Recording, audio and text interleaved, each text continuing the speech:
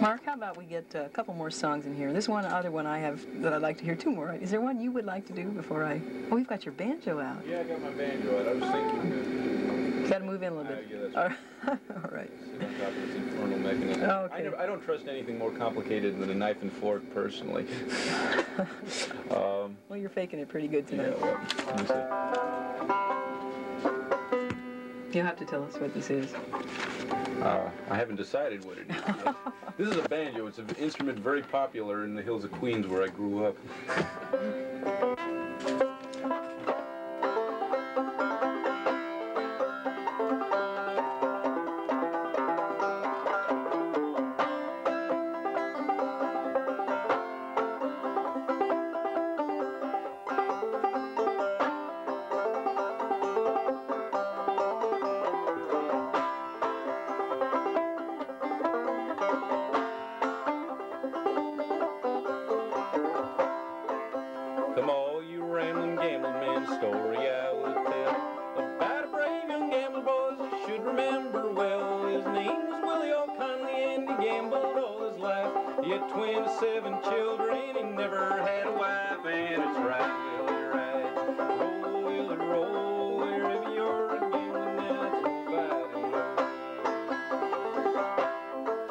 Willie gambled in the White House and in the railroad yards. Wherever there was people, there was Willie and his cards. He had a reputation as the gamblingest man around. Wives would lock their husbands up when Willie comes to town, and it's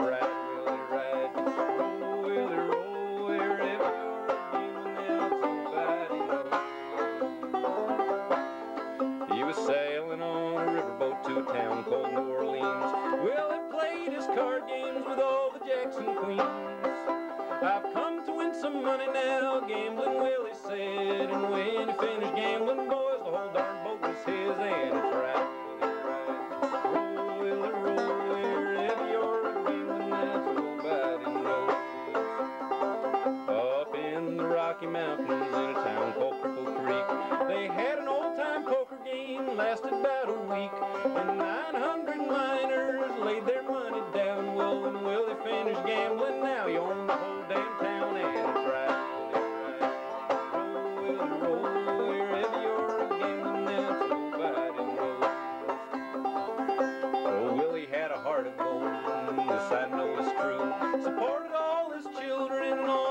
mothers too. He wore no rings or fancy clothes like other gamblers wore. He spread his money far and wide, helped the sick and poor, and it's right.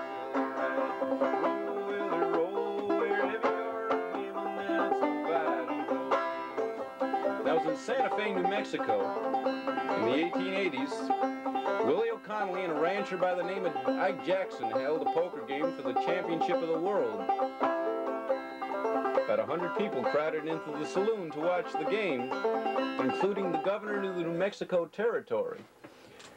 And they were pretty good poker players. Things were going pretty slow, though, until both of them got good hands, or what they thought were good hands, and there was a $100,000 in the pot and neither of them had any more cash on them. Well, Jackson the rancher, he takes paper and pencil and he writes out a deed to his ranch and 10,000 head of cattle and he raises Willie that amount.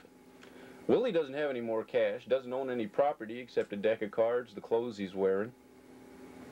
He takes paper and pencil and scribbles on it for a second, hands the paper and pencil to the governor of the New Mexico Territory, and drawing his six-shooter, cocking it and pointing it at the governor, says, Governor, I love you and I'd do anything for you, but I love my reputation as a poker player more. Would, won't you please sign this? Without reading it, the governor signs it and hands it back.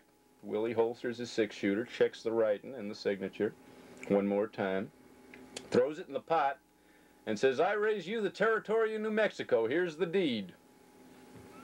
Well, Jackson, the rancher, he throws down his cards, tips back his hat, shoves back his chair, thinks for a second, and says, Well, take the darn pot, but it's a damn good thing for you the governor of Texas wasn't here. When you played your cards with Willie, now you never really knew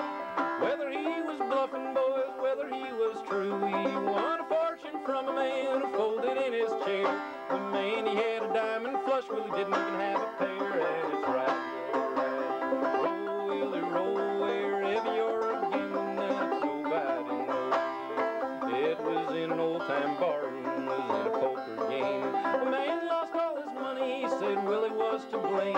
He shot poor Willie through the head, it was a tragic fate. Then when the cards fell from his hands, they races back with dates, and it's right.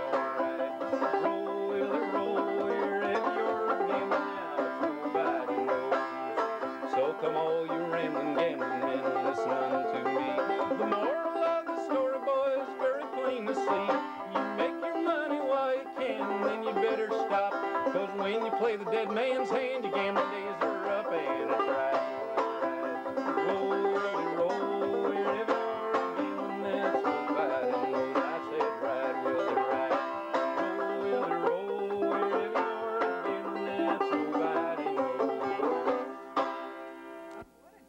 This is Kate Wolf, and it's a little after 10:30, and here in Santa Rosa, coming up on 11, when we'll have to say goodnight and come back next Thursday.